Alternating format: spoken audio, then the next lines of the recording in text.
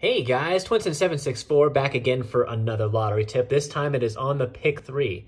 So tonight I am playing uh, uh, 059 and I want to show you a little bit, a little trick that I figured out with the exact and anything. So in these three tickets, I chose the 059 for each combination. So there's six of them, one, two, three, four.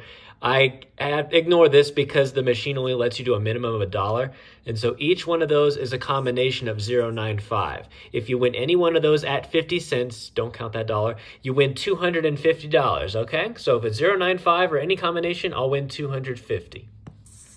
And now I have the any over here, which is for the exact same amount, $3, which equals the uh, the six combinations of 50 cents, so that's three bucks. And each each dollar of these, of an any, is 80 bucks. So three times 80 would be $240.